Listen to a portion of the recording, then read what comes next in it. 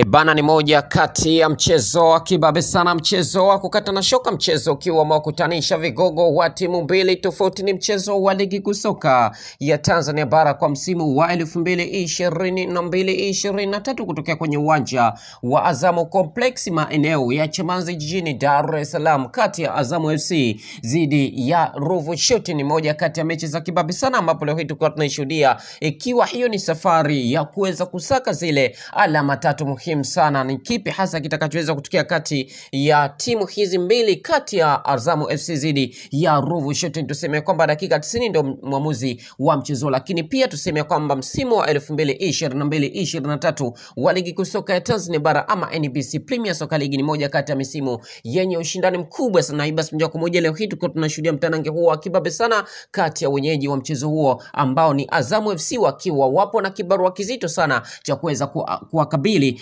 Ruvu Shooting na kuweza kuhakikisha kwamba wanapata ushindi na kuweza kufanikiwa kuvuna zile alama tatu muhimu sana. Je, Azamu FC watafanikiwa kupata ushindi kwenye mechi ya leo ama watapoteza ama watasare? Tuseme ya kwamba dakika 90 ndio mwamuzi wa mchezo, lakini pia kwa upande wa Ruvu Shooting nao ni hivyo hivyo, wanachohitaji ni kuweza kuhakikisha kwamba wanapata matokeo mazuri, kwa sababu kibarua alichokuwa nacho ni kikubwa sana cha kuweza kuhakikisha kwamba wanawakabili Azamu FC na kuweza kufanikiwa kupata ushindi hasa kwenye mechi ya leo. Je, Ruvu Shooting watafanikiwa kupata ushindi ama watapoteza ama watasare? Dakika 90 ndio mwamuzi wa mchezo, lakini hadi sasa mechi imekuwa na ushindani mkubwa sana mara baada ya kuweza kufanikiwa kuanza kwa kasi kubwa sana, lakini pia ni mechi ambayo ikiwa inaendelea kwa kasi kubwa sana, lakini pia tukishuhudia piga ni kupiga zimekuwa ni nyingi, lakini pia hata kosa kosa nazo zimekuwa ni nyingi sana, na hiyo basi tegemee kwamba kushuhudia mambo makubwa hasa mara baada ya kuweza kutamatika kwa mchezo huu wa kibabe sana kutokea kwenye uwanja wa Azamu Complex maeneo ya Chamazi jijini Dar es Salaam. Lakini tukitazama hasa nafasi walizopo timu zote mbili, tukianza na wenyeji wa mchezo wa leo